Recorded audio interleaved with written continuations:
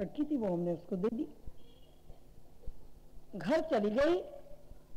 घर जाकर तो ये आज अदालत इस प्रकार से नहीं बैठी होती। ये अदालत बैठी हुई है स्वयं विराजमान है। तुम लोग कुछ लोग सोचते होंगे कि इतना बड़ा स्वरूप प्रभु जी का कैसे लगा दिया? मैंने कल भी बतलाया था। छोटे छोटे स्वरूप में पता नहीं लग पाता बैठे होंगे कोई। इतने से बैठे होंगे, पता नहीं कौन बैठे। पूरा स्वरूप को दर्शन ही नहीं होते लोगों को। मैं चाहती हूँ, मेरे प्रभु जी को, मेरे गुरुदेव को सारा संसार जान ले।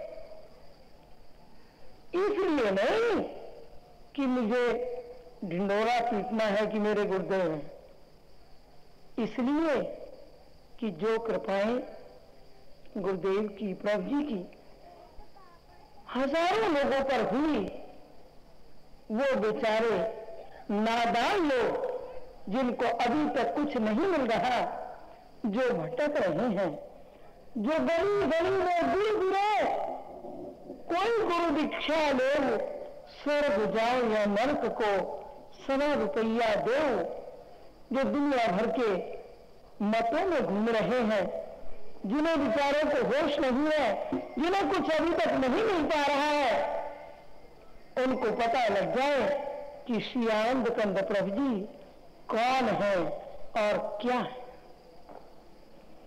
केवल इसलिए ये बड़ा स्वरूप अर्जेंट परसों टेलीफोन मेरे ख्याल किया था।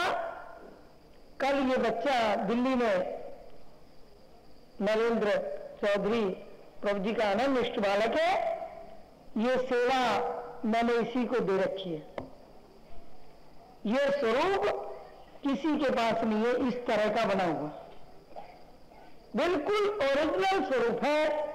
जब तक विग्रह सामने नहीं आएगा, स्वरूप गुरुदेव का पूर्ण रूप से जो सत्य स्वरूप है, वो तो सामने नहीं आएगा। तो लोगों को उस तरह की धारणा, उस तरह की दर्शन होने में थोड़ा सा वो हो जाता है। इसलिए विग्रह का पूर्ण होना परम आवश्यक है। कम से कम सैकड़ों चित्र हमने दिल्ली से इसके द्वारा बनवाए और परसों फ़ोन किया, कल तो ये बना के और आज सुबह ही जब मैंने इसको देखा, सुबह आया था, कल आया था। कल शाम को ही आ गया ये। बड़ा करके फटाफट मुँह तैयार करके और ये स्वरूप लेके पहुँच गए। मैं तो देखती रहेगी मैंने कहा माँ मेरी हार्दिक इच्छा थी कि श्री प्रभु जी बड़े से बड़े आकर के यहाँ विराजमान होंगे ये स्वरूप ये फ़ोटो मत समझना, कोई चित्र मत समझना। इस चित्र की महिमा बड़ी भारी है। जो अपने घर में केवल इसको फ़ोटो समझ करके लगाते हैं, कृपा तो उन पर भी होती है। किंतु नहीं, जो इनको स्वयं गर्जी समझ करके लगाते हैं, उन पर तो ऐसी ऐसी कृपाएँ होती है कि लगता है कि श्री प्रभु जी का हाथ स्वरूप में से निकला। लगता है कि चरण प्रभु जी के निकलने शुरू हो गए। अभी अभी की ताजी घटना बताऊँ, प्रभु जी के दो बच्चे और बच्ची यहाँ बैठे हुए हैं। अभी मुझे अंदर बता रहे थे ये बात। बोले वो बच्चा यहाँ बैठा हुआ इतना सा बीमार हो गया, हालत खराब हुई, पेट इतना बढ़ गया और पीलिया जैसा हो गया, हालत खराब हुई। डॉक्टर को दिखाया। दिखाने के बाद डॉक्टर ने कहा, इसको तो दिल्ली ले जाओ, हमारे वश की बात नहीं। ऐसा रोग कभी हमने देखा सुना ही है ये लोग चिंतित हो गए। उनके घर में प्रभु जी का स्वरूप विराजमान है। ये स्वरूप क्यों विराजमान किया है मैंने?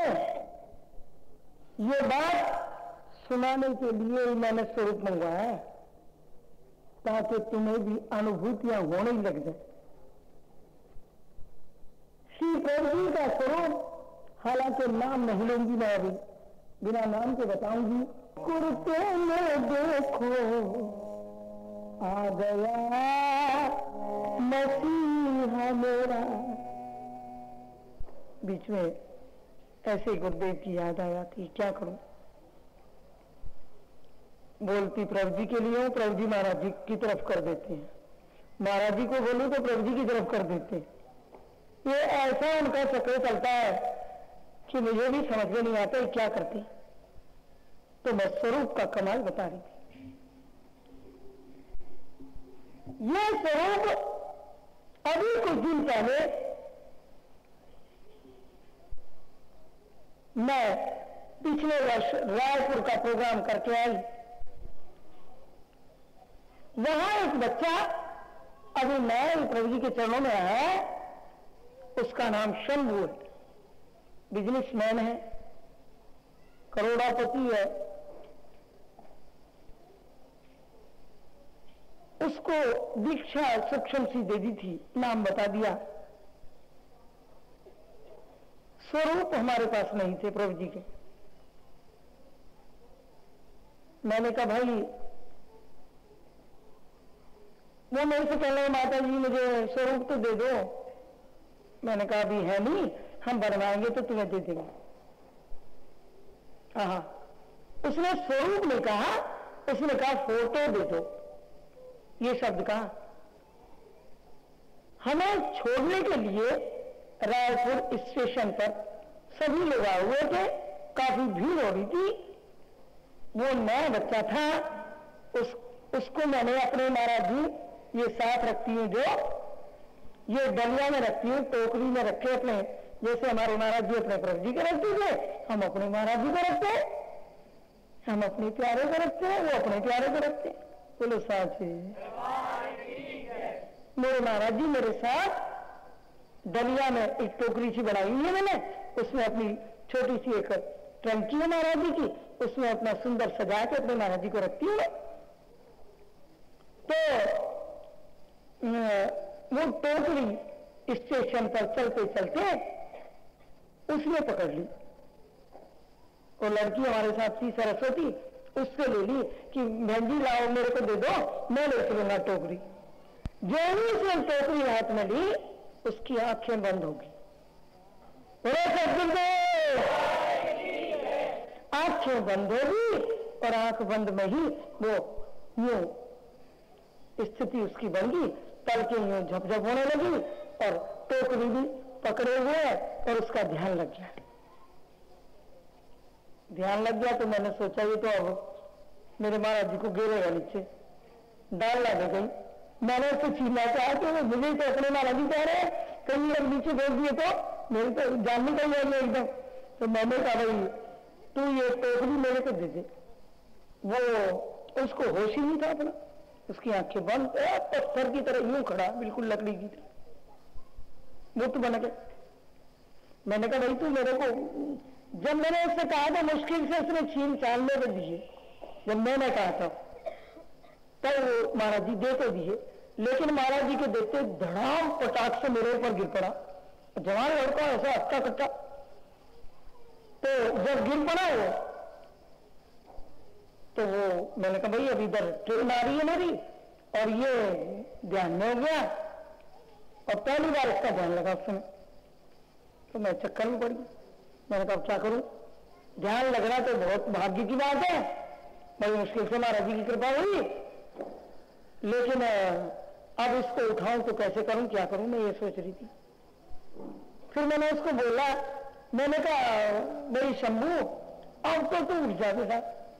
लेकिन उठ करके, अपने घर जा करके ना, वहाँ ध्यान में बैठ गई मेरा कहना था, उसकी उसकी आँख से आँसू आने लगी उस समय। आँसू आते आते कहता है, मैंने कहा क्या देख रहा है तू? मेरे को भी आनंद आता है सुनने में ना, चुपचाप पूछती हूँ उससे। जिसका ध्यान लगता है, मैं उसके पीछे पड़ जाती हूँ, अकेले में पूछती हूँ फिर उससे। मैंने कहा, क्या दिखाई दे रहा है तेरे को? ये तो बता दे मेरे को। कहता है माता जी ओ प्रभु जी प्रभु जी प्रभु जी। कहते बड़े गुस्सा हो रहे हैं प्रभु जी। मैंने क्या हुआ? तेरे तो कोई ऐसा काम क्या कर दिया भाई? कहता है प्रभु जी कहते हैं, क्या? फ़ोटो कहते हैं मुझे? फ़ोटो कह रहे हैं मुझे? मैं फ़ोटो हूँ? ऐसे बोले प्रभु जी। कि माता जी, कल मैंने आपको कहा था ना, मैंने एकदम याद की उसकी बात कि ये कल कह रहा था, माता जी ये फ़ोटो दे दो। और प्रभु जी ने आज इसको डांट लगाई। कहते मुझे फ़ोटो करता है? खबरदार मुझे फ़ोटो कहा था माता जी, गलती होगी गलती होगी। मैंने कहा, चिंता मत कर प्रभु जी समझा रहे हैं तेरे को? क्या समझा रहे हैं? कि मैं फ़ोटो नहीं हूँ। मैं फ़ोटो ये स्वरूप ऐसे ही नहीं लगा दिया, जो लोग अभी नहीं समझ पा रहे, वो भूल कर रहे हैं भारी जो प्रभु जी को नहीं समझ पा रहे। मैं सोचती हूँ कई लोगों के लिए कि ये क्यों नहीं बढ़ रहे आगे? लेकिन फिर मैं सोचती हूँ, कोई संस्कार इनका आगे आ रहा है बीच में। कोई कुसंस्कार बीच में आ रहा है जिसके कारण प्रभु जी के चरणों में आगे नहीं बढ़ पा रहे। और कई लोग ऐसे होते हैं जो यूँ आए यूँ यूँ कृपा होनी शुरू तो मेरा कहने का अभिप्राय ये है ये फ़ोटो नहीं है, ये चित्र नहीं है। अभी दो दिन पहले मैंने तुम्हें बताया था कि मद्रास की रानी पदपावनी प्रभु जी के स्वरूप को लेकर के आदि गुरु शंकराचार्य जी के पास गई और कहने लगी, महाराज, ये कौन है?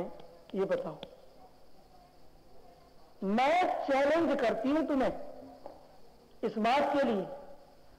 कोई भी महात्मा संसार के अंदर अगर तुम्हें मिलता है, तुम प्रभु का नाम लेकर के उससे बेधड़क होकर के पूछ। निर्भय होकर पूछो कि ये प्रभु जी कौन है। हमारा एक पैमाना है सच्चे महात्मा की पहचान बता दूँ मैं तुम्हें। सच्चा महात्मा कहते हैं, जिसको आँख हो। आँख माने ये आँख नहीं, ये तो तुम्हें भी है और मुझे भी है, सबको है तो। इनसे तुम, मुझे देख रहे हो, मैं तुम्हें देख रही। ये आँख नहीं। कौन सी आँख? वो आँख जिस आँख के द्वारा इन आँखों को बंद करने पर भी दिखाई देता हो।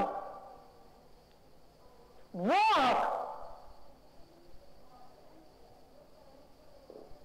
वो आँख जिस आँख से अर्जुन ने भगवान श्री कृष्ण के विराट स्वरूप का दर्शन किया।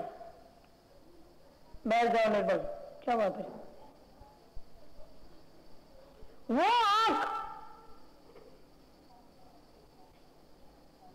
जिसके लिए वो भजन सुनते हो तुम लोग। कौन सी आँख है आँख वो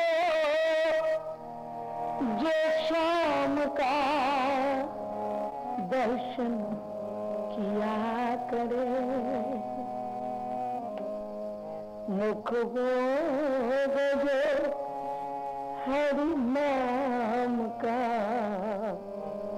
सुमरिन किया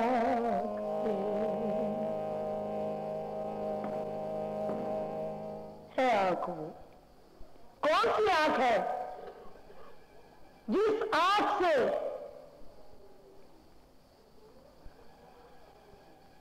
मीरा ने श्री कृष्ण को देखा, जिस आँख से ध्रुव ने भगवान विष्णु को देखा, जिस आँख से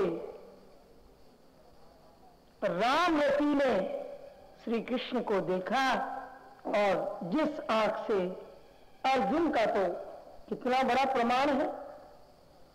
जिस आँख से धृतराष्ट्र के पास कौन बैठा था? संजय ने कहाँ से देखा? हस्तिनापुर से कहाँ का देखा हाल? कुरुक्षेत्र का हाल देख करके ये पूरी गीता का वर्णन कर दिया। धृतराष्ट्र वाच धृतराष्ट्र वाच संजय वाच संजय सारी कहानी देख करके बता रहा था, यूँ वो आँख, वो नज़र जब तक वो नज़र नहीं मिलती, तब तक श्री राम नहीं मिलेंगे। श्री राम के दर्शन नहीं होंगे, श्री कृष्ण के दर्शन नहीं होंगे, भगवान शिव के दर्शन नहीं होंगे, भगवती माँ के दर्शन नहीं होंगे। चाहे भले ही सामने भगवती आ जाए, सामने राम आ जाए, सामने श्री कृष्ण आ जाए, लेकिन क्या करें? दिखाई देता ही नहीं। उसका कारण यही है कि अभी तक आँख नहीं मिली। तो इसलिए इस दरबार में वो आँख मिल जाती है। मैं सही कह रही हूँ इस बात को। मैं आँख वाले से वो आँख तुम, खास जो आँख है रोशनी के लिए पकड़ी बैठे हो दुनिया की चाहत लिए। छोड़ना पड़ता जग उस आँख के लिए। बोलिए सतगुरुदेव, वो आँख इस दरबार में मिलती है। तो मैं क्या थी? बोलो क्या कह रही थी? वो आँख उस बच्चे को मिली, जिससे उसने पहचाना कि प्रभु जी ने कहा कि फ़ोटो फ़ोटो नहीं हो, देख मैं कौन हूँ। प्रभु जी ने, महाराज जी ने दलिया लिए था दलिया से महाराज जी ने आँख दे दी बंद में से आँख देने के बाद उसको प्रभु जी के दर्शन होने शुरू हुए। तो इसलिए भाई ने बात की कह रही थी, क्या? कि अगर कोई संसार के अंदर महात्मा है, तुम जाकर के पूछ लो, उसको आँख है तो प्रभु जी के लिए क्या कहेगा? मुझे आकर के बता दो। अगर उसको आँख है तो प्रभु जी की स्तुति करेगा। अरे वो तो वही है, अरे वो तो वही है, वो तो वही। और यदि आँख नहीं है तो क्या कहेगा? मैं बताऊँ, पहले से बता दूँ तुम्हें वो ये कहते हैं हाँ नाम सुना है उनका। क्या कहते हैं? नाम सुना है उनका। हाँ सिद्ध गुफा का नाम सुना। बस इतना कहते इससे ज़्यादा उनको आँख ही नहीं विचारों को। कहाँ से बताएँ? तो इसलिए जब तक आँख नहीं लोगे, तुम लोग भी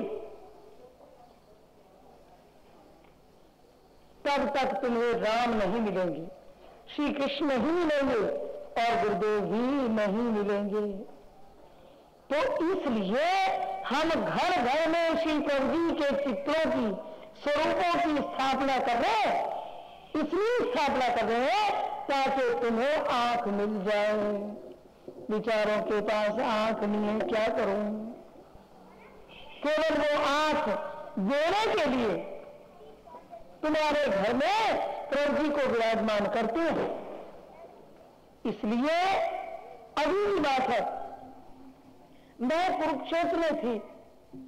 एक महात्मा है तो गृहस्थी वो बेचारा महात्मा 20 से 25 साल से महात्मा बन गया है, क्षत्रिय है। आजकल दस बारह लोगों को कुरुक्षेत्र आश्रम में छोड़ के आई उनमें वो बूढ़ा आदमी है। लेकिन बूढ़ा ऐसा नहीं है कि उठ बैठ नहीं सकता अच्छा हट्टा कट्टा जवान जैसा लगता है। वो कहीं किसी गुरु से नाम ले रखा है उसने। हमारे यहाँ एक व्यक्ति आया, उसको छोड़ गया। वो व्यक्ति जो भाग गया, किंतु वो महात्मा हमारे यहाँ रुक गया। कहता, मैं तो यही रहूँगा, मुझे तो आनंद आया। एक दिन मैं ऐसे ही परिचय दे रही थी उसको, ये हमारे प्रभु जी है, ये हमारे गुरुदेव हैं। ये बता रही थी मैं उसको। बताने के बाद उसने उपेक्षा की वृत्ति से मेरे से सुना हाँ हाँ माता जी, मैंने नाम ले रखा है। मेरे गुरु भी हैं है इस तरह की बात करी। मैं जानती हूँ कैसे कैसे गुरु किसके होते हैं। सारी ज़िंदगी होगी मेरे को गुरुओं में, महात्माओं में देखते हुए। जैसे तुम लोग ना संसार वालों को जानते हो ना, इसी तरह हम, हमने महात्मा बहुत देखे सब तरह के। तो मैं क्या कह रही थी? क्या बात कह रही थी मैं? क्या कह रही थी वो? महात्मा, रुक गया आश्रम में। पता नहीं कहाँ पहुँच जाते बोलो साचे। हमारा लक्ष्य प्रवचन देना, भाषण देना नहीं है। हमारा लक्ष्य तो तुम्हें बात समझाने का है। यूँ समझो कि बात कर रही हूँ मैं तुम्हारे से। तो वो महात्मा हमारे आश्रम में रुका हुआ है। एक दिन आरती करने के बाद सामने बैठ जाओ मैं तो इधर उधर की बाहर बैठी हुई थी, वो महात्मा सामने बैठ गया। और पाठ आरती करने के बाद मैं बाहर चली गई। उन सबको कह दिया कि पाठ करने लगो। पाठ कौन सा? तुम्हें किसी को अभी तक याद नहीं हुआ? पता नहीं याद हुआ कि नहीं? पाठ ज़रूर याद करो तुम। ये प्रभु जी के आदेश से पाठ बनाया कौन सा प्रभु श्री राम लाल सुख राशि प्रगटे मन मंदिर के वासी। दर्शन कर परम देव अविनाशी। योग सूर्य दल करे प्रकाशा, पूर्ण करे भक्तन की। याद ही नहीं हुआ अभी तुम सब याद करो इस पाठ को। और ग्यारह पाठ सुबह, ग्यारह शाम को हर हर व्यक्ति को अपने घर में करना चाहिए।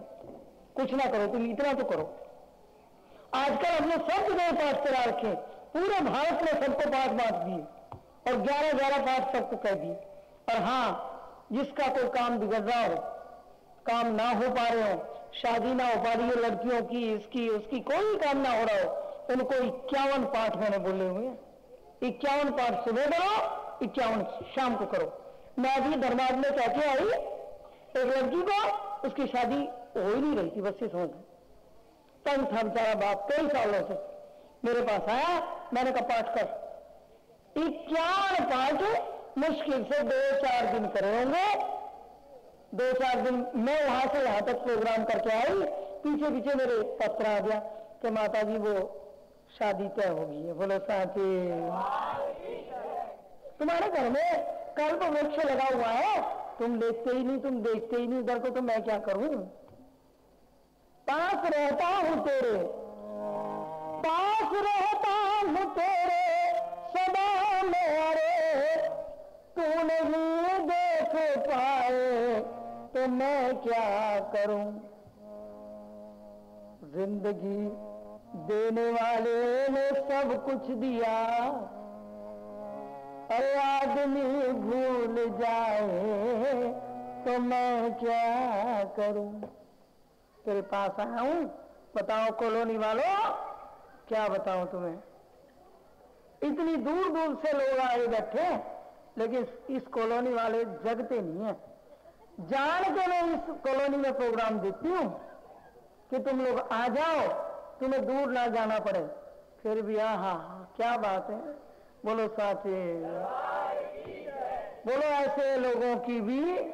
हाँ ज़ोर से बोला करो जरा। बोलो साथे। ये भी आ गया। ये भी इसी कॉलोनी के आसपास ही रहता है। ये भी आ गया भूल चुक के। बैठ जाओ। तो मेरा कहने का अभिप्राय क्या क्या कह रही थी मैं? बात बता करो मेरे को। वो महात्मा सामने बैठा हुआ था। एक दिन उसने क्या देखा? वो प्रभु जी की तरफ़ देखने लगा, बस खाली हुई स्वरूप की तरफ़। तुम भी देख लो, मैं तुम्हें इसलिए बता रही हूँ। मैं ऐसी नहीं भोख रही पागलों की तरह। तुम इधर देख लो बस, मेरी तरफ़ मत देखो। मुझे मत देखो, इधर देखो। ये स्वरूप इसीलिए लगाया तुम्हारे लिए।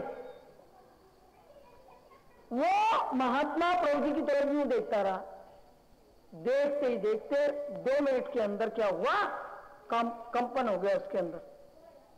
शरीर कांपने लगा। कांपते कांपते खुली आँखों यूँ। देखते ही देखते कांपने लगा और कांपते कांपते कांपते कांपते प्रभु जी स्वरूप में से निकले। इतने बड़े स्वरूप है हमारे वहाँ कुरुक्षेत्र में भी। प्रभु जी हमने पूर्ण प्रतिष्ठा करके उनके अंदर पूर्ण मतलब पूर्ण जागृत कर लिया उनको जागृत कर लिया। है ना? चित्र तो स्वरूप तो सबके घर में तुम जागृत करना नहीं जानते। जानते नहीं तुम। तुम्हें सिखा रही हूँ मैं क्या करूँ? जागृत करो उसमें। जितने तुम जागृत करोगे, जागृत कब होंगे? ये उपाय बताऊँगी तुम्हें। ऐसी बात नहीं है। कि ना बताऊँ। हमने तो जागृत कर लिए उसमें से। अपने महाराज जी जागृत कर रखे हमने। मेरे महाराज जी के कोई दर्शन कर लो, इन्हीं से दर्शन करते ही ध्यान लगना शुरू हो जाता है। क्यों? तुम लोग इतने दिनों से लिए बैठे, क्यों नहीं लग रहे? क्या मतलब? जागृत नहीं की अभी। तेरा संग तुझमें जाग सके तो जाग तो हमने अपने प्रभु जी महाराज जी को जागृत कर रखा है। तो उसने प्रभु जी के दर्शन करने शुरू किए और दर्शन करते करते वो क्या देखता है? तीन लाइट हाँ थोड़ी देर के मतलब घंटा भर बैठा रहा होगा वो। घंटे के बाद जब वो आँख खुली उसकी तो आँख खुलने के बाद ऐसी माँ आँख खुलने के बाद फिर कहता है, है? मैं कहा बैठा था? मैं कहा बैठा था? नाम खुमारी नानका चढ़ी रहे दिन रात। बोले साचे ना भाई, सब तुम आलसी और भूखे हो, मुझे लगता है। खाते नहीं है, बिल्कुल। बोले साचे बोलते ही नहीं हो, आलसी हो सबके सब। बोले सदगुरुदेव, महाप्रभु योग सिद्ध गुफा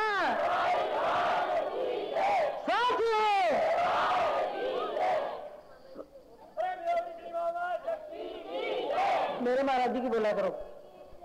मेरे महाराज जी की बोलोगे ना बस मैं खुश हो जाऊँगी। मेरी बोलने में क्या करा? उसमें कुछ नहीं। प्रभु जी की बोला करो, महाराज जी की बोला करो, ताकि मैं खुश हूँ। मुझे मुझे खुश करने के लिए प्रभु जी महाराज जी की बोलियो महाराज, ये हुई बात, ये हुई बात। खुश करना है तो करो, ऐसे करा करो।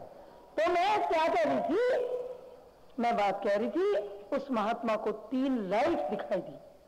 एक लाइट, दो लाइट, तीन लाइट आई उसके सामने, और तीनों लाइट से वो उसको होश नहीं रहा कि मैं कौन हूँ, क्या हूँ, कहा आज तक उसको कहीं दर्शन नहीं हुआ था, कहीं कृपा नहीं हुई थी, कोई लाइट कभी नहीं दिखाई दी थी, किंतु एक बात कर रखी थी उसने। उसने क्या कर रखा है? किसी गुरु से नाम ले रखा, कोई बात नहीं। उस मंत्र का वो जाप बहुत करता है। उस मंत्र का जाप करने के बाद उसको प्रभु जी की शरण में आना पड़ा। क्योंकि शास्त्र का नियम है, पश्चात पुण्य लभते, सिद्धे सह, संगति कि कोई सिद्ध पुरुष तभी मिलेगा कब? जब पुण्यों का खजाना इकट्ठा हो जाएगा पुण्य काय से होते इकट्ठे दान करने से भजन करने से मंत्र ए, कहा क्या बात है? बैठ जा। बहुत चंचल हो रहा है तू। बोलो साचे क्या कहा मैंने? दान करने से। पश्चात पुण्य लड़ते तो सिर्फ़ देन सिद्धेन प्रसंगति इस दरबार में आएगा तब कब आएगा? जब पुण्यों की टोकरी साथ में होगी तो आएगा, नहीं तो मैं एंटी घुस नहीं सकता इसके अंदर? ये पक्की बात है। ये कानून है। कानून को काट नहीं सकता। शास्त्र का नियम है। क्या कानून है? पश्चात पुण्य लभते सिद्धेन से संगति। किसी सिद्ध के दर्शन ऑटोमेटिक होंगे, क्योंकि तुमने पुण्य किया है। अच्छा कई कई आ भी जाते हैं। कोई आकर के यूँ कहीं चले जाते हैं बेचारे। बस इतना ही पाते हो दर्शन तो हो गया इतना तो कम नहीं अरे इतना क्या कम है? पश्चात पुण्य लगते सिद्धे में क्या संगति? फिर उनकी संगति मिलेगी। फिर क्या होगा आगे? ततो सिद्ध से कृपया। कृपया। फिर वो सोचना शुरू करेंगे उसके बारे में। कौन? गुरुदेव। प्रभु जी सोचना शुरू करेंगे। सिद्ध लोग सोचना शुरू करते हैं। वो तो सिद्धों के महासिद्ध है। वो अपने मन में सोचेंगे ये फलाना बच्चा हमारे पास आया। इसकी तरफ़ हमें देखना है। इसके पुण्य बढ़ाने किसी तरह। अगर कमी है तो उसके पुण्य बढ़ाएँगे फिर। किसी किसी तरह उपाय कर देंगे कोई ना कोई। उसको पता नहीं लगेगा और कोई ना कोई उपाय बना देंगे। या तो वो आ, मंदिर में जाना शुरू कर देगा। एक आज देवी आई मेरे पास। मैं तो भूल गई कौन सी थी वो? उसने आके मुझे कहा कहती है माता जी मेरा पति आया नहीं करता आपके पास। एक दिन आया था आपने कहा कि अब तू प्रभु जी के दर्शन करने अब तू मंदिर में मतलब दर्शन करने रोज आया करेगा। वो आया नहीं करता था। तो उस दिन के बाद उस व्यक्ति ने क्या काम शुरू कर दिया? किसी मंदिर में जाने लगा वो। मंदिर में ही दर्शन कर, कराने शुरू कर दिए उसको। प्रभु जी ने यहाँ उसकी पत्नी आई, एक बार वो आया, आने के बाद उसने हमारे साथ बहस की और बहस करने के बाद अब वो किसी मंदिर में जाने लगा। तो प्रभु जी ने क्या काम किया? अब उसे किसी मंदिर में लगा दिया। बोले, जाता रहे, आता रहे, जाता रहे, आता रहे, जाता रहे, आता रहे। पुण्य बढ़ा। पुण्य बढ़ाने शुरू कर दिए उसने क्योंकि मंदिर में जाता है। तो उसने अपने मुँह से ही अपनी पत्नी से बात कही। बोले, एक बात तो है बोले माता जी से तो मैं बहस कर, करने गया था बहस करी थी और मैं तो दर्शन करने जाया नहीं करता था मंदिर में। इतनी तो हो गया मेरे को कि मैं मंदिर में मंदिर में रोज दर्शन करने जाता है। वो चाहे अपने पास नहीं बुलाया प्रभु जी ने लेकिन वहाँ की प्रेरणा कर दी कि तू मंदिर में जा भी। मंदिर में लड़ाई कर। एक और वकील साहब हमारे पास आते हैं वहाँ आगरे में। वो कहने लगे माता जी कोई कृपा करो। मैंने कहा क्या कृपा करें भाई तेरे ऊपर? तो पता लगा मुझे, बार काउंसिल के चेयरमैन रहे एक एडवोकेट वहाँ पाठक जी। वो कहने लगे कि, माता जी, ये बड़े पुण्य आत्मा है शर्मा जी, वकील है, और ये चार बजे प्रातःकाल अपना घर छोड़ देते हैं, नहा धो के पोछा लगाने के लिए मंदिर में जाते हैं। मैंने कहा, अभी यही करना है तुम्हें, अभी करता रहो। जब पुण्य बढ़ जाएगा, तब अपने आप सिद्ध गुरु यूँ खींच लेंगे, यूँ यूँ बुला लेंगे। किसी तरह बुलाए वो। पश्चात पुण्य लभते सिद्धेन सह संगति। पुण्यों के ही प्रभाव से रामायण का पाठ करें, मंदिरों में जाएँ, या दान करें, या पुण्य करें, या भजन करें, या सत्संग करें, परोपकार करें, कुछ भी करें किसी के माध्यम से शुभ कर्म करते करते करते करते, क्योंकि नियम है ना। देखो, पाँच तरह के प्राणी होते हैं। इस संसार के अंदर। कल बताऊँगी अब मैं ये विषय थोड़ा लंबा है। इस बात को बहुत अच्छी तरह खोल के बताऊँगी मैं। और बड़ा आनंद आएगा कल को सुनने में तुम्हें। पाँच तरह के प्राणी इस संसार में हैं, जितने भी तुम यहाँ बैठे हो। उनमें से तुम छांट लेना, तुम कौन सी कैटेगरी में हो? ठीक है ना? बोलो साथी अपनी अपनी कैटेगरी अपने आप छाट लेना हम कौन सी श्रेणी में हैं? वो कल को बताऊँगी, आज भी। बोलो, साचे। आज तो मैंने केवल इतनी बात बताई तुम्हें कि इस स्वरूप की बड़ी भारी महिमा है। तुम मेरी बात मान के देख लो। इनके दर्शन करना शुरू कर दो। इनकी याद करना शुरू कर दो। भले ही तुम अपने घर में जाकर के मैं रोज कहती हूँ, यूँ बाया पैर नीचे किया, दाया यूँ किया, और बैठ करके पंद्रह मिनट अपने अपने घरों में जा करके करना जय प्रभु जी प्रभु जी प्रभु जी जय प्रभु जी प्रभु जी प्रभु जी जय प्रभु जी प्रभु जी प्रभु जी जय प्रभु जी प्रभु जी प्रभु जी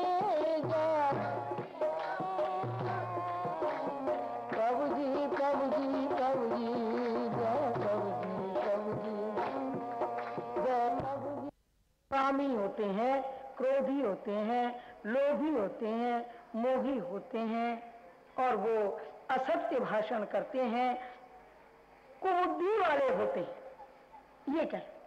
है ना? इनके लक्षण ये हुआ करते हैं। इनको क्या कहते हैं? पतंजलि महाराज की भाषा में, मूढ़ा अवस्था के प्राणी।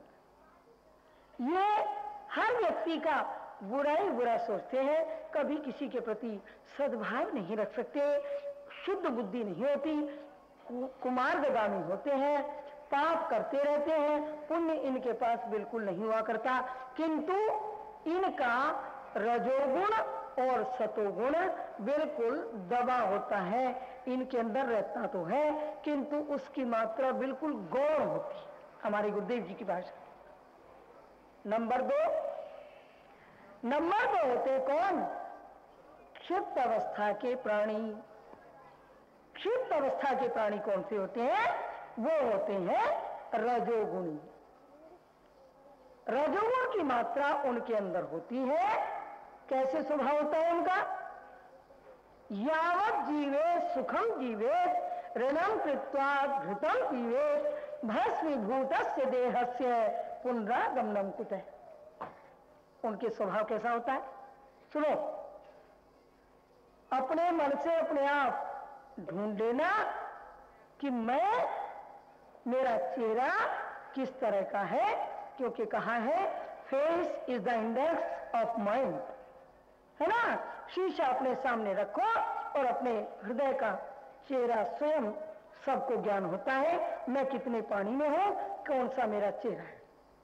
तो ये ढूंढ लेना। तो नंबर दो के प्राणी कौन से होते हैं? रजोगुणी। इनके स्वभाव कैसा होता है? रजोगुणी व्यक्ति यावत जीवे, सुखम जीवे। जब तक जियो सुख पूर्वक जियो। ऋणम कृत्वा घृतम पीवेत। कर्जा करो और घी पियो। भस्मीभूत से देह से पुनरागमनम कुछ अरे, सब कहते हैं, मौत आएगी मौत आएगी, कब आएगी कब आएगी? देखा जाएगा। मौत आएगी तो देखा जाएगा। अभी कौन सा आ रही है? अगला जन्म किसने देखा है? वो क्या कहते हैं? अगला जन्म किसने देखा है? उनकी वृत्ति इस प्रकार की हुआ करती है। अच्छा। अब उनके चेहरे को देखो। चेहरे में क्या होता है उनके? उनके पीछे एक प्रकाश होता है। प्रकाश सबके पीछे होता है। तमोगुणी के पीछे काले रंग का होता है और रजो गुणी के पीछे कौन सा होता है? लाल रंग का। वो लाल जब भी ध्यान में बैठोगे, ये भी बताऊँगी कैसे देखेंगे। ध्यान के द्वारा ही ये देख पाओगे कौन सा व्यक्ति किस श्रेणी का है? ये तुम जब ध्यान में बैठना शुरू कर दोगे, या तो बाहर से ज्ञान करोगे, बाहर से कैसे देखोगे? बाहर का अर्थ तो मैंने ये बताया, तमोगुणी कूर स्वभाव के होते हैं क्रोधी होते हैं कामी होते हैं लोभी होते हैं काम, क्रोध, लोभ, मोह, मद, मत्सर, इनके अंदर खूब भरा होता है। जैसा इस प्रकार का जिसके अंदर बाहर से देखो तो उसके लिए कहा गया है आकार चेष्टया भाषण न नेत्र भक्त विकार ज्ञाते मना। बाहर से अगर किसी को देखना है कि ये व्यक्ति कैसा है तो उसको हम कैसे देख पाएँगे? उसको देखेंगे कि आकार से, उसका आकार कैसा है। विकार से आकार इंगत उसके अंतर इशारे कैसे करता है वो बात कैसे करता है? वो चलता कैसे है? आकार इंगत गत्या कैसे चलता है? चेष्टया कैसी उसकी चेष्टाएँ हैं, हरकतें? भाषणीन या कैसे बोलता है? उसकी बोलचाल से, बातों से, चलने से, बैठने से, बोलो, वृंदावन बिहारी। ये योग शिविर है और तुम सब कैसे बैठे हो? मुझे भी आलस्य आ जाता है, मेरा मन करता है, मैं भी यूँ ही बैठ जाऊँ तुम्हारी तरफ़। योग शिविर है ना? जरा अच्छी तरह सुनो, तब आनंद आएगा सुनने में। बोलो साचे। नहीं भाई, आनंद नहीं आया, सुनने में तभी आनंद आएगा। बोलो साचे। हाँ तो मैं क्या कह रही थी? क्या कह रही थी? आकारे इंगते गत्या चेष्टया भाषण से नेत्र वक्त्र विकार ज्ञाते अंतर्गत मने, अगर किसी व्यक्ति को बाहर से देखना चाहते हो, अंदर की आँख तुम्हारे अंदर नहीं है तो बाहर से कैसे देखोगे? ऐसे देखोगे, आकार से। उसका कैसा बाहर से देख करके समझ लो। है? या उसके बात करने के ढंग से, या उसके देखने के ढंग से, या उसकी चेष्टाओं से, या उसके बोलने से चलने से फलाना व्यक्ति इस तरह का है। बाहर से, किंतु अंदर से कैसे देखोगे? अंदर से जब तुम योग ध्यान करोगे और धीरे धीरे धीरे धीरे स्टेप बाय स्टेप चलते जाओगे तो धीरे धीरे अंतर्मुक्ता जब आ जाएगी, बाहर की दुनिया छूटने लगेगी तो अंदर की दुनिया से में प्रवेश हो जाएगा और प्रवेश होने के बाद ही कहा है ना उपनिषद में? परांच खानी मतलब स्वयंभू, तस्मात पश्यति ना अंतरात्मन। कश्चित धीर प्रत्येगात्मान क्षत आवृत चक्षु अमृत तुम इच्छन कोई धीर पुरुष उस प्रत्येगात्मा को जान पाता है, जो अपनी बाहर से बंद कर ले और अंदर से अंतर मुक्ता की ओर चलने का प्रयास करे, उसको बाहर की दुनिया छूट जाएगी, उसको अंदर की दुनिया शुरू हो जाएगी। खैर, ये दूसरा विषय चल जाता है, किंतु मैं अपने विषय पर आ जाऊँ। मेरा कहने का अभिप्राय क्या है? मेरा अभिप्राय ये है कि बाहर से तो हम किसी को देख करके जान सकते हैं, किंतु अंदर से अंतर्मुक्ता जब तक नहीं होगी, तब तक नहीं जान पाएँगे। अंतर्मुक्ता ध्यान के द्वारा आएगी और हम देखेंगे कि ये काला इसके पीछे लाइट है तो ये तमोगुणी व्यक्ति है। और इसके पीछे अगर लाल रंग का प्रकाश है तो ये रजोगुणी व्यक्ति इसको क्या कहेंगे? योग भाषा में, पतंजलि जी महाराज की भाषा में इसको कहेंगे, क्षिप्त अवस्था के प्राणी। मूढ़ावस्था के प्राणी तमोगुणी और क्षिप्त अवस्था के प्राणी नंबर दो रजोगुणी। है ना? अब इन इन लोगों को भगवान पर विश्वास नहीं होता। इनके लक्षण क्या है? कि भगवान को नहीं मानते। ये क्या कहते हैं? अरे कर्जा करो और घी पियो। भगवान तेने ज़रूर देखा होगा। अगर इनसे कोई कहने लगे, तुम्हें भी ज़रूर मिलते होंगे ऐसे लोग। उन उनसे तुम कहोगे ना, चलो भाई, सत्संग हो रहा है, वहाँ चलते हैं। तो वो क्या जवाब देते हैं रजोगुणी लोग? हाँ तेने ज़रूर भगवान देखा है। तू चला जा भगवान देखने के लिए। हमें नहीं ज़रूरत है, बोलो साची। क्या कहेंगे? क्षिप्त अवस्था के प्राणी योग भाषा में पतंजलि महाराज के सूत्र के अनुसार कहेंगे। तो आ, ये नंबर दो हो गए। नंबर तीन कौन से हो गए? विक्षिप्त अवस्था। मूढ़ावस्था क्षिप्त अवस्था और नंबर तीन विक्षिप्त अवस्था के प्राणी। ये तीसरे कौन से होते हैं भाई? अब तुम ढूंढ लेना तुम कौन से हो? ये ड्यूटी मेरी नहीं है तुम्हारी तो नंबर तीन कौन से होते हैं? नंबर तीन होते हैं विक्षिप्त अवस्था। विक्षिप्त अवस्था कौन से होते हैं? ये दान करते हैं, पुण्य करते हैं, भजन में जाते हैं, सत्संग करते हैं, मंदिरों में जाते हैं, यज्ञ करते हैं, कुछ थोड़े बहुत व्रत उपवास भी कर लेते हैं। इतवार का व्रत कर लिया, एकादशी का व्रत कर लिया, गुरुवार का व्रत कर लिया, सोमवार का व्रत कर लिया संतोषी माता का व्रत कर लिया, मंगलवार का व्रत कर लिया, ये व्रत भी करते रहते हैं। मंदिरों में जाते रहते हैं, घंटी बजा लेते हैं। चाहे भले ही मंदिर में जाकर के भगवान की मूर्ति को ये नहीं देखा कि आज श्याम सुंदर किस स्वरूप में है, आज कौन सा वेश है, आज बांसुरी हाथ में है कि नहीं है, आज भगवान राम का कौन से वस्त्र हैं, धनुष हाथ में है कि नहीं है, कुछ नहीं देखते, ना, बस सुबह जाते हैं, भागते हैं जल्दी जल्दी अपने घरों से जल्दी जल्दी नहाए, जल्दी जल्दी किया और मंदिर में जाना है, मंदिर में जाना है।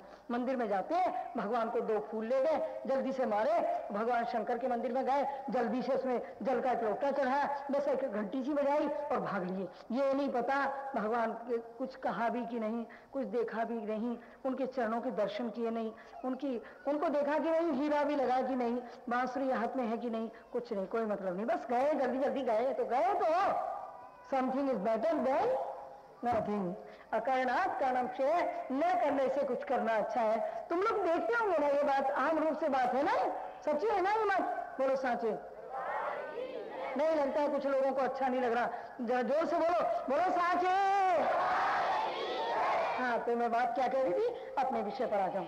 नंबर तीन, तीसरे व्यक्ति वो है जो विक्षिप्त अवस्था के हैं और केवल दान करते हैं, पुण्य करते हैं, रामायण पढ़ते हैं, भागवत पढ़ते हैं और उपनिषद पढ़ते हैं, अच्छे अच्छे काम, शुभ कर्म में अपने को लगाने की चेष्टा करते हैं। समझ रहे हैं ना? ये तो बड़ा सरल करके बता रही हूँ। गूढ़ विषय है मेरे गुरुदेव जी का, किंतु मैं चाहती हूँ इसको हर व्यक्ति के पल्ले पड़ जाए, हर व्यक्ति। मेरे गुरुदेव जी, एक बार, मुझे एक बात याद आई बीच में। क्या करूँ मुझे? पग पग पर मुझे महाराज जी की याद आती है। और बीसों साल मेरे महाराज जी के चरण कमलों में व्यतीत हुए।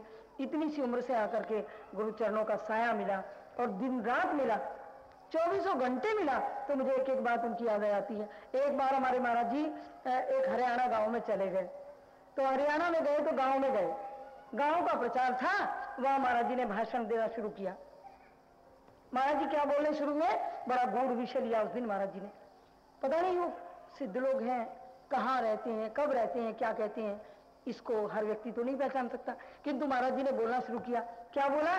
कि इंद्रियाणी पराण्या हो, इंद्रियोभ्यो परम मन, मनसस्तु परा बुद्धियो बुद्धे पर तसु से। इंद्रियों से परे मन है, मन से परे बुद्धि है, और बुद्धि से मन, बुद्धि से है परे कोई बिरला जाने संत। इतना गूढ़ विषय लेकर के महाराज जी बैठ गए।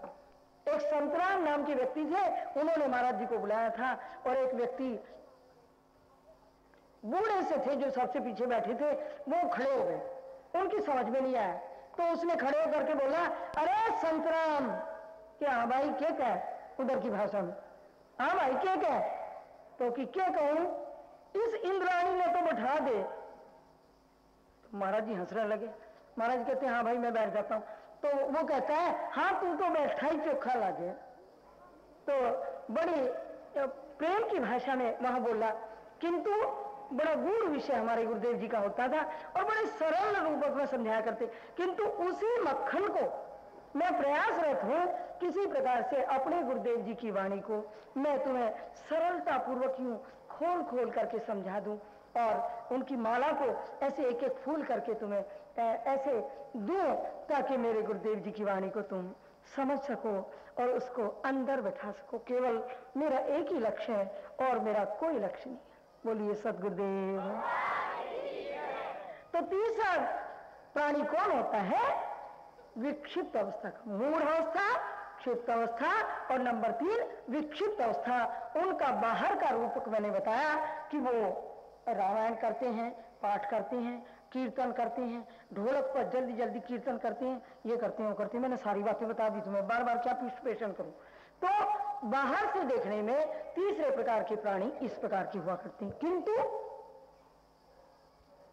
किंतु उनका कथन क्या है? वो कहते हैं क्या? राम नाम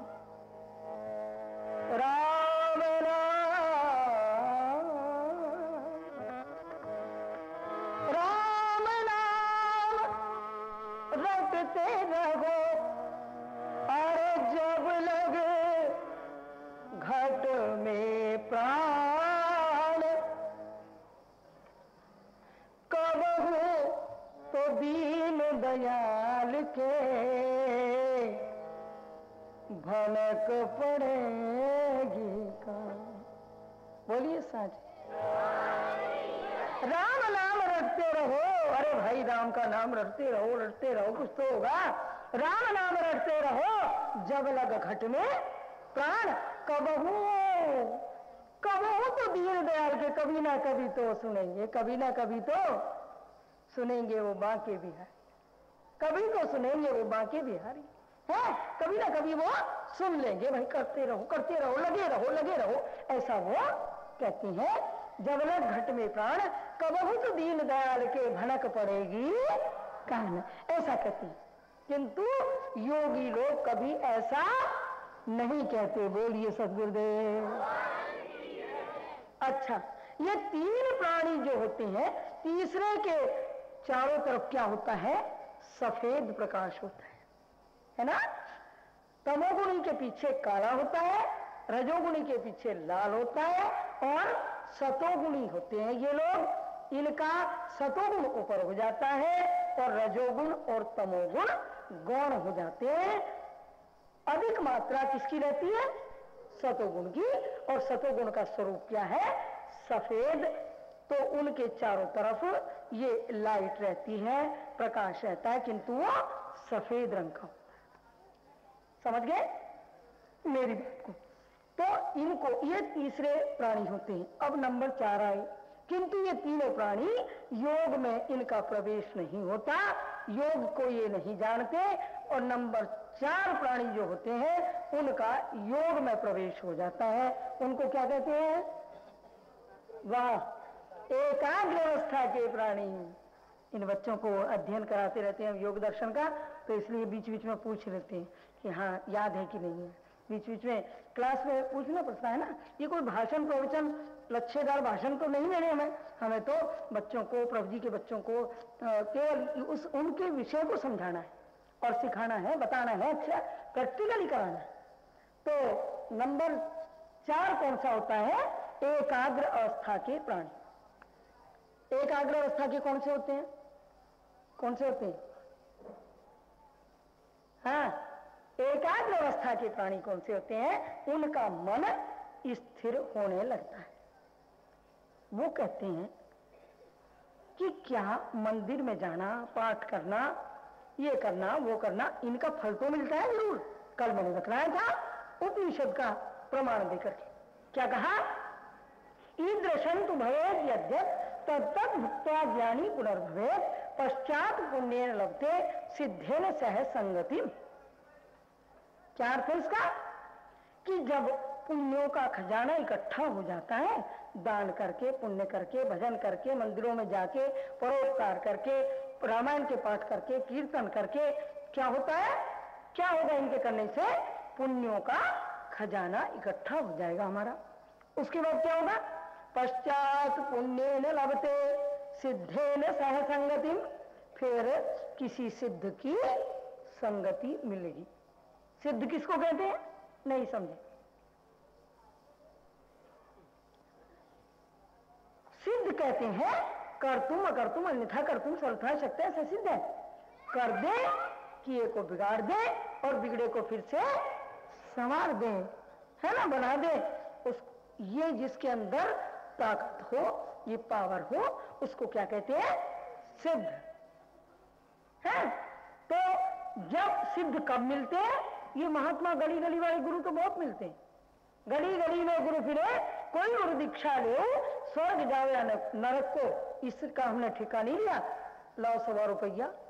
दो ऐसे गुरु तो बहुत मिल जाएँगे, किंतु साधारण गुरु हैं ये तो बेचारे वैसे ही हैं कि बस पुण्य बढ़वा देंगे तुम्हारा। मुझे अपनी बात याद आई। जिस समय मैं बहुत छोटी थी, कक्षा आठ में पढ़ती थी, उस समय तक मुझे मेरे गुरुदेव, मेरे महाराज जी नहीं मिले थे। मेरी जन्मभूमि उत्तर प्रदेश में, शामली एक कस्बा है, जिला मुजफ्फरनगर में, और वहाँ छोटी सी मैं पढ़ती थी तो बचपन से संस्कार उसी तरह के कुछ थे तो एक गुरु मुझे मिल गए। उन्होंने मुझे भगवान कृष्ण का मंत्र दे दिया, वो मंत्र जाप करते रहे हम, उस मंत्र का जाप किया, जाप कर, किया, रामायण का पाठ किया, कीर्तन करते थे, भजन करते थे सत्संग का बचपन से शौक था, उस तरह के संस्कार थे पूर्व जन्म के।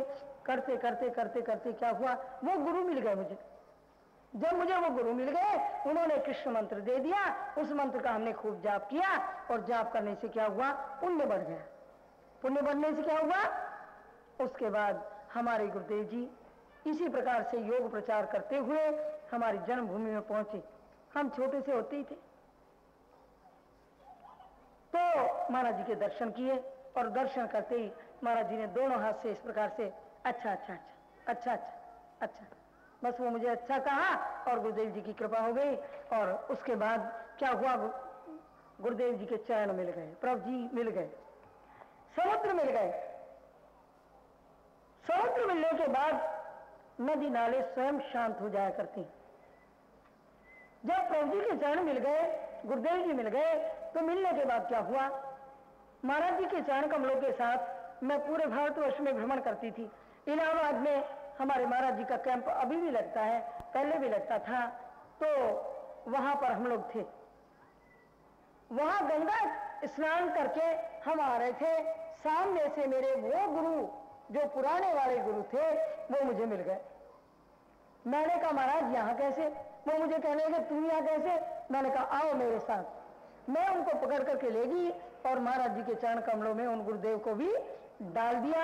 हमारे महाराज जी ने, मेरे गुरुदेव जी ने उन गुरुदेव पर भी शक्तिपात किया, उनको लाइट दी, उनको प्रकाश दिया, उनको वो आँख दी जो अभी तक नहीं मिली थी।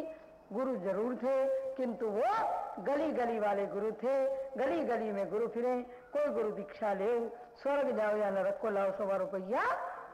ऐसे गुरु थे, किंतु उनका उद्धार भी हमें मिले, हमने महाराज जी के चरणों में डाल दिया और महाराज जी ने उनके ऊपर भी कृपा कर दी। तो मैं क्या कह रही थी? मेरा अभिप्राय कहने का यह था, क्या? क्या? एकाग्र अवस्था के प्राणी। ये योग मार्ग। पश्चात पुण्य न लभते, सिद्धेन सह संगतिम किसी सिद्ध गुरु की कृपा से ही ये योग मार्ग मिल सकता है। वैसे आज के युग में तो योग का प्रचार प्रसार बहुत हो रहा है, किंतु वो फिजिकली है, केवल शारीरिक है। आसन कर लिए, थोड़ा बहुत प्राणायाम सिखा दिया, नेति धोती कर ली, केवल शरीर को स्वस्थ बनाने के लिए उसको करने लगे। उसका परिणाम क्या है कि योग शब्द को जानने तो लगे लोग, नहीं तो योग के नाम से ही भी बहुत से लोग अरे क्या योग भोग मुझे आ, मुझे कह दू कह दू बात? अच्छा खैर हाँ। अभी मुझे जनक जी ने थोड़ी देर पहले बताया था जिस समय हम ये चौथा साल है हमारा यहाँ शिंदे की छावनी में प्रोग्राम करते हुए जिस समय मैं पहली बार यहाँ आई तो यहाँ के लोगों ने जनक जी ने कहा होगा कि यहाँ योग का शिविर लगाएँगे। तो ये बेचारे क्या जानते थे? इन्होंने कहा, क्या योग वोग होता है?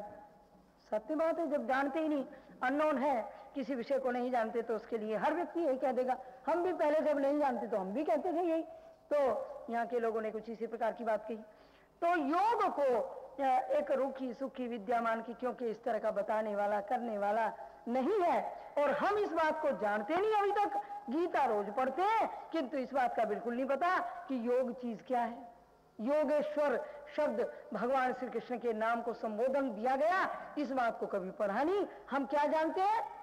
भक्ति मार्ग, ज्ञान मार्ग, किंतु इस बात का नहीं पता है कि भगवान श्री कृष्ण ने क्या आज्ञा दी है गीता में। श्री कृष्ण कह रहे हैं ना, हम श्री कृष्ण को मानते हैं, किंतु श्री कृष्ण की वाणी को नहीं मानते, मैं अधिक समय नहीं लूँगी, थोड़ी देर और बात करूँगी तुम लोगों से, है? क्या कह रही थी मैं? कि योग शब्द का अभी तक अर्थ नहीं जानते। योग चित्त वृत्ति निरोध है। चित्त वृत्ति नाम नितराम रोध है, योग। योग किसको कहते हैं? चित्त वृत्तियों के निरोध को योग कहते हैं। हमारे मन के अंदर लहरें उठती रहती हैं। सरल भाषा में बता कभी अच्छी आती है कभी बुरी आती है। कभी रजोगुण की आती है कभी तमोगुण की आती है। कभी सतोगुण की भी आ जाती है। कभी अच्छे काम करने लगते हैं कभी बुरे काम करने लगते हैं। कभी निंदा करते हैं कभी स्तुति करते हैं। कभी राग करते हैं कभी द्वेष करते हैं। ये वृत्तियाँ उत्थान पतन, क्लिष्टा, क्लिष्ट और अक्लिष्ट वृत्तियों का उत्थान पतन चलता रहता है। कभी अच्छी आ गई कभी बुरी आ गई कभी ये आ गया कभी ये आ गया। ये जो वृत्तियाँ हमारे अंदर घूमती रहती है सब दिन दिन में प्रातः काल से लेकर के सायंकाल तक तुम अपने मन में शाम को विचार किया करो, आज मैंने कितने लोगों पर गुस्सा किया? आज मैंने कितनों से प्यार किया? कितनों को धोखा दिया? कितनों से किस तरह की बात की? किस, कितनों को दगा दिया? तो इस तरह के विचार जब वो वृत्तियाँ आती है, उनको पकड़ना चाहिए। वो जो वृत्तियाँ आती रहती हैं, उन वृत्तियों का समूल उन्मूलन करना है। तब हम योग मार्ग में प्रवेश कर पाएँगे। पूरा योग दर्शन एक ही सूत्र पर टिका हुआ है योग चित्त वृत्ति निरोध है। चित्त वृत्ति नाम नितराम योग है योग। है चित्त वृत्तियों का खात्मा हो जाए, यू नहीं समझोगे, ना रहे बास और ना बजे बांसुरी। बोलो, वृंदावन बिहारी। तो इसलिए हमारे मन के अंदर बिल्कुल भी चित्त वृत्तियाँ उठे ही नहीं। न राग की आए, न द्वेष की आए, न अच्छी आए, न बुरी आए। न शुभ हो, न अशुभ हो, वो निष्कामता की पराकाष्ठा पहुंचनी है अभी तो। किंतु ये योग मार्ग से चलने के बाद ही हम कर पाएँगे। क्यों? क्यों? क्यों का जवाब यही है, क्योंकि भगवान श्री कृष्ण कह रहे हैं। तुम्हारे में से इतने लोग मेरे सामने बैठे हैं कोई एक व्यक्ति ऐसा हाथ उठा दो जो भगवान कृष्ण को न मानता है। कोई? कोई नहीं किंतु भगवान कृष्ण की बात भी नहीं मानते। बोलो, वृंदावन बिहारी। तुम्हारी बात तुमसे चलाऊँगी। श्री कृष्ण को मानते हो? श्याम सुंदर प्राणों में बसने वाले हैं। रोम रोम में बसने वाले हैं। किंतु उनकी वाणी को कभी न गौर से सोचा और न सुना और न कभी उस तरह का बताने वाला कोई मिला। क्या कह रहे गीता में? गीता में कहते हैं तपस्वीभ्यो अधिको योगी ज्ञानीभ्यो विमतोधिका कर्मीभ्य अधिको योगी, तस्म